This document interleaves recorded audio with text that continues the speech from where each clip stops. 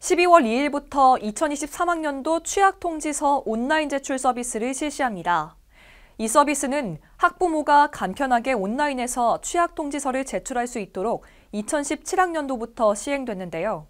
서비스 이용을 위한 자세한 내용 안내합니다. 2023학년도 초등학교 취약 아동을 대상으로 취약 통지서 온라인 제출 서비스를 실시합니다.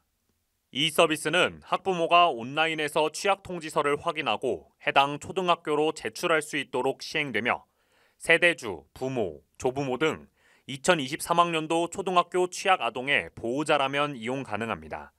단 대상은 2016년 1월 1일부터 12월 31일 사이에 출생한 만 6세 아동으로 서울에 거주해야 합니다.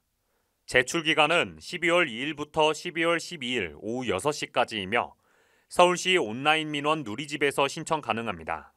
한편 1년 조기 입학 또는 입학 연기 신청은 12월 30일까지 동주민센터로 신청하시기 바랍니다.